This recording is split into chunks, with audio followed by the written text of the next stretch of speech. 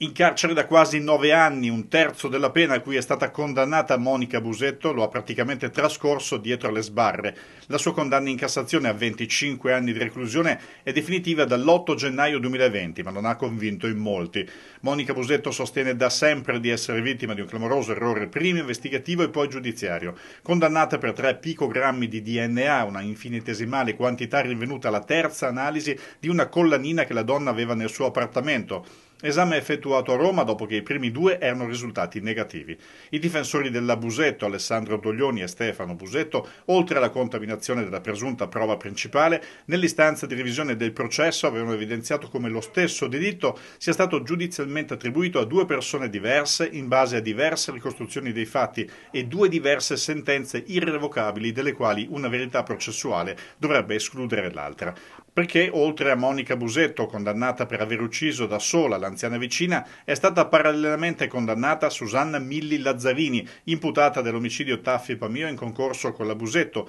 ma riconosciuta colpevole con una motivazione che escludeva ogni tipo di concorso. La stessa Lazzarini, inizialmente arrestata per l'omicidio di un'altra anziana a Mestre nel 2015, aveva spontaneamente confessato di aver ucciso anche la Taffi Pamio da sola, ripetendo la versione per tre volte, portando nel 2015 alla la scarcerazione momentanea da Monica Busetto e solo in seguito però la Lazzarini ritrattò e coinvolse la Busetto nel delitto, prima come committente e poi come complice diretto, anche se le due non si conoscevano e non si fossero tabulati telefonici o prove di contatti fra loro. In tribunale a Trento, fra gennaio e marzo 2024, è stata discussa l'istanza di revisione del suo processo ed è stata rigettata. Però l'istanza di revisione a Trento cos'ha di particolare?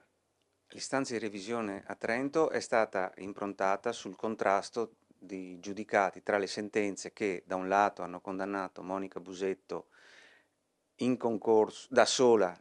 contro, per l'omicidio di Lida Tafipamio e dall'altro la sentenza che condanna invece eh, Milli Susanna Lazzarini in concorso con Monica Busetto per lo stesso omicidio di Lida Tafipamio. Le due sentenze,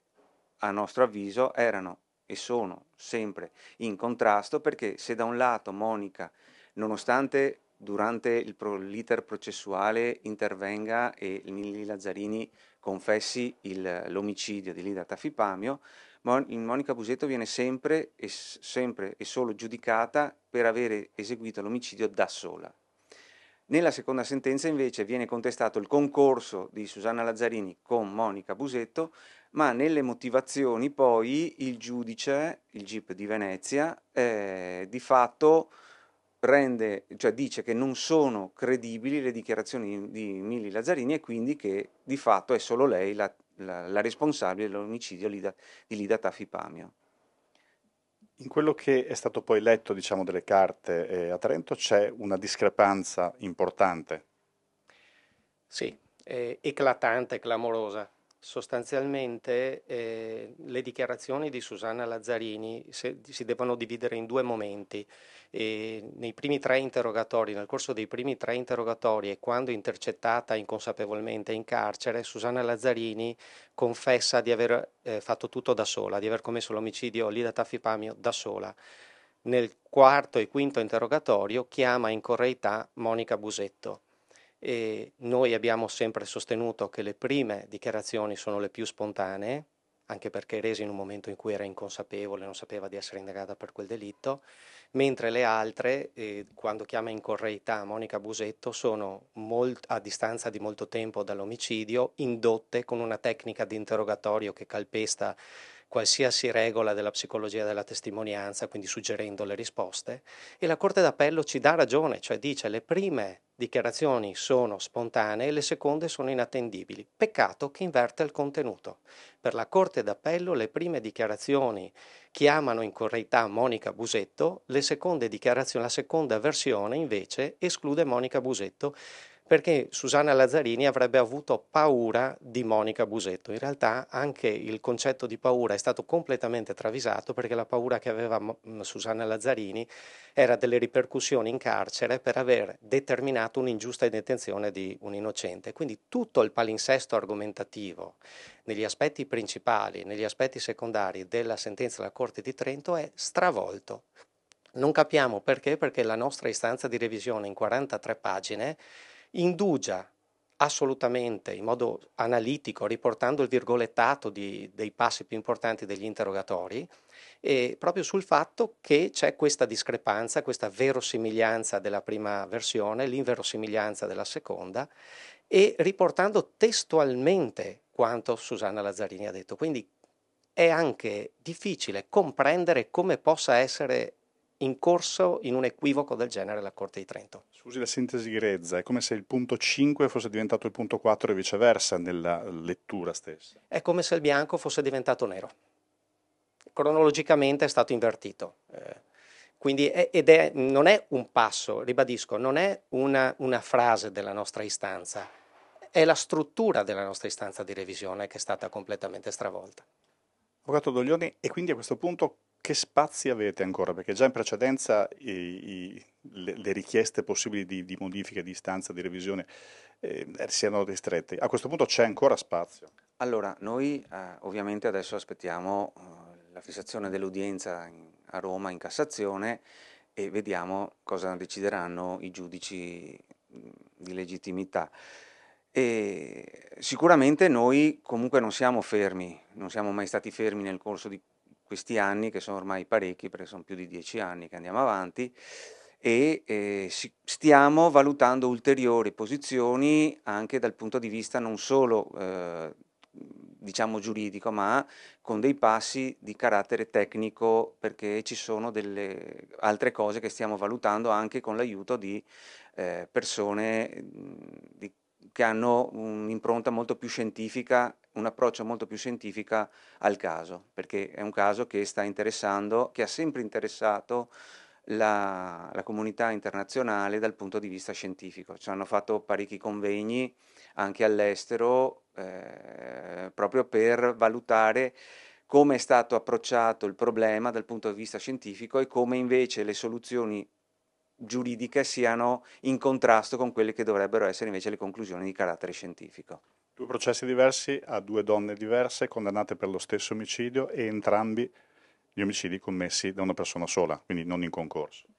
E questo è quello che diciamo noi, cioè che non c'è nessun tipo di concorso, anzi che l'unica esecutrice del, dell'omicidio di Lida Tafipamio è Susanna Lazzarini perché eh, ci sono da sempre state tutte le prove che hanno portato a carico di Susanna Lazzarini. Quella che viene ritenuta la prova regina a carico di Monica Busetto, cioè la collanina, abbiamo sempre detto che è questo che ci sconforta dal punto di vista scientifico, perché la comunità scientifica ci ha sempre dato ragione, che quello che è stato trovato nella collanina è un DNA derivante da contaminazione perché eh, non sono state eseguite le, le, le, i protocolli eh, che sono invece necessari per lo sviluppo e l'analisi del, del, de, de, dei reperti, tenendo presente tra l'altro che sulla catena sono state fatte ben tre analisi, le prime due di carattere negativo e solo con la terza analisi è stato trovato questo, di DNA, questo traccia di DNA assolutamente insignificante che, noi l'abbiamo sempre detto, è inidoneo addirittura per determinare un test di paternità, quindi è, è assolutamente, assolutamente irrilevante dal punto di vista scientifico. Avvocato Busetto, lei il cognome porta anche appunto a una parentela con, sì. con Monica stessa, eh, di cui le chiediamo innanzitutto lo spirito dopo tanti anni come possa essere. Beh, Monica è, è stanca, è stanca, vive di obiettivi, il prossimo obiettivo è la fissazione dell'udienza davanti alla Corte di Cassazione. Ad ogni appuntamento si illude, diciamo che a Trento ha sentito il risultato vicino, perché è stato molto strano anche lo svolgimento della, del processo a Trento. Abbiamo avuto una prima udienza in cui ci è stato detto è superfluo raccontare tutta la vicenda, andiamo subito al dunque, è stato chiesto agli avvocati di rendere alcune precisazioni su alcuni, su alcuni aspetti che dovevano essere chiariti per la Corte, per cui la sensazione era che finalmente qualcuno ci stesse ascoltando. Dopodiché, come forse già sapete, ci siamo trovati un collegio con una composizione diversa, in cinque minuti è stata liquidata la pratica, e quindi per, per Monica è crollato, è crollato, tutto di nuovo. È molto dura perché è stanca, sono a 62 anni quando è iniziata questa storia per lei, insomma ne aveva 52 quando è stata arrestata,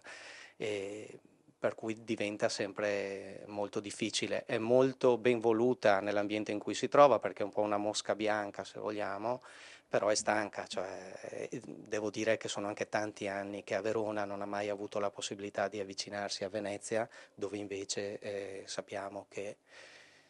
eh, altra, altra, persona responsabile del delitto eh, qui pacificamente da una vita aveva... Sono stati tra l'altro anche nello stesso momento per un periodo. Sì, sono stati per, uno, per, un certo periodo, anche per eventualmente intercettare eventuali dialoghi, ma Altra anomalia, una delle tante anomalie che caratterizza questo processo, le intercettazioni di Monica e, e Susanna Lazzarini in cella non ci sono per un vizio tecnico, difatti noi non abbiamo registrazioni, non abbiamo trascrizioni. E, finendo sullo stato emotivo, chiaramente eh, è, stata, è stato demolito eh, l'umore già basso dalla morte del padre, che ovviamente riusciva pochissimo ad andare a trovarla perché Venezia e Verona eh, tenete presente che Venezia è già una difficoltà logistica, credo che non concedere a Monica di venire a Venezia ed eventualmente eliminare le eh, difficoltà ambientali trasferendo qualcun altro sia stata una crudeltà.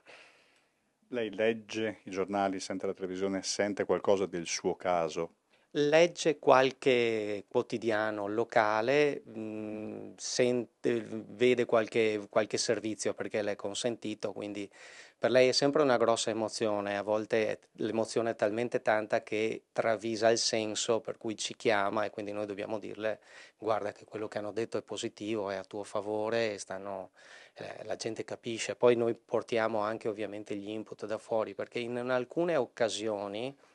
Eh,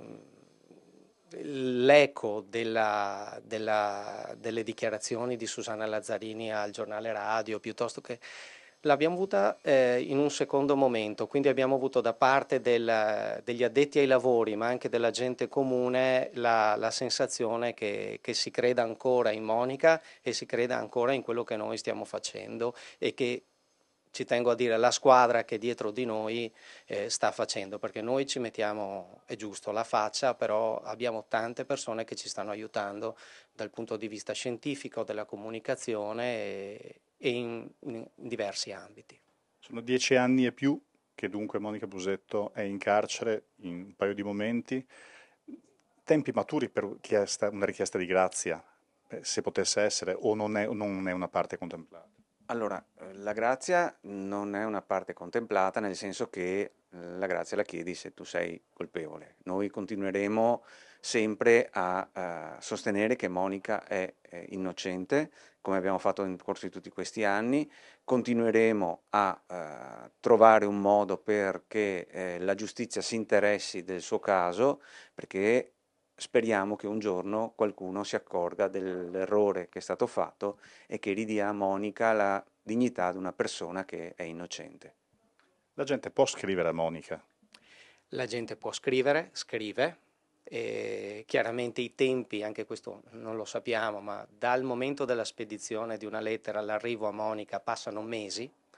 e probabilmente per le ispezioni interne non lo sappiamo, lei raccoglie queste, mh, questi messaggi con molto calore. Tenete presente che la dimensione con cui si percepiscono questi, questi atti di affetto è completamente diversa, è molto amplificata perché le dimensioni all'interno del carcere sono completamente diverse, per cui ha ricevuto a volte eh, comunicazioni da chi allora era uno sconosciuto e magari oggi è una delle persone che ci sta aiutando. A Montorio, come anche alla Giudecca, è passato il Papa e probabilmente ha visto entrambe. Ci sono stati messaggi da parte Monica Busetto, intanto c'è stata una consegna di, di qualche attestato? Sì, sì, eh, quando il Papa è andato appunto a Montorio, Monica ha consegnato un cofanetto dove all'interno c'era anche il libro che eh, Massimiliano Cortivo e ehm, e Lorenzo Brusattin hanno, fatto, hanno scritto per fare il punto del caso e questa cosa è stata consegnata da Monica e da un'educatrice al, al, al pontefice. Abbiamo 700 pagine di libro tra l'altro. Sì, ce l'ho qua. Eccolo qua. Per spiegare proprio anche la, la, la completezza del caso. Lorenzo e Massimiliano hanno scritto e nel quale viene eh, riassunto proprio il, il, caso di Monica e che è stato appunto consegnato al, al Papa. Quindi appunto anche questa ulteriore speranza in qualche modo, un messaggio che possa veicolare nuovamente la sensibilità pubblica su un caso che è davvero incredibile. Assolutamente, poi Monica ha pranzato nella stessa stanza con il Papa, per cui non riusciva neanche a parlare per raccontarcelo al telefono, per cui eh, chiaramente per lei sono tutti motivi di speranza, motivi perché la cosa abbia una certa risonanza, però obiettivamente di questo non abbiamo riscontro, per cui eh, se non il Santo Padre speriamo che qualcuno dell'entourage possa in qualche modo eh, prendere a cuore la questione anche solo per scrivere. No, non, non, speriamo la telefonata che Papa Francesco è abituato ogni tanto a fare, però almeno avere, per lei è molto importante essere creduta, è per questo che non vorrebbe neppure uscire in permesso Monica, lei vuole uscire a testa alta con una declaratoria di innocenza. L'ultima domanda, Procuratore Dorignoni, che già in parte anticipato prima, quindi il prossimo passo cos'è? L'attesa? L'attesa della fissazione dell'udienza a Roma in Cassazione e speriamo che questa volta vada bene, anche perché penso sia la quarta quinta volta che abbiamo fatto ricorsi, perché abbiamo prima fatto impugnato, poi è stata riformata, poi di nuovo impugnato, senza contare le volte che abbiamo impugnato le varie ordinanze di, sia di custodia cautelare che quindi siamo, questa volta siamo fiduciosi perché, ripeto, come ha detto Stefano prima, cioè proprio la sentenza ha, della, Corte della Corte d'Appello di Trieste ha eh, invertito i termini cronologici e tanto più che se invece avesse affrontato i temi in maniera corretta, corretta cioè legge, seguendo lo sviluppo cronologico delle cose, avrebbe, dato, avrebbe accolto la nostra istanza perché la nostra istanza si basava proprio sulle diverse, che è quello poi che dicono anche le sentenze, cioè come una, una dichiarazione fatta eteroaccusatoria poi diventi, uh, no, autoaccusatoria diventi poi eteroaccusatoria, ma non prima autoaccusatoria e poi eteroaccusatoria, insomma hanno invertito tutto, tutto il, lo schema proprio logico della, di, di tutta la causa, cioè le, sono gli scatoloni, di, di, del, della causa di, Monica Busetto, insomma, del processo.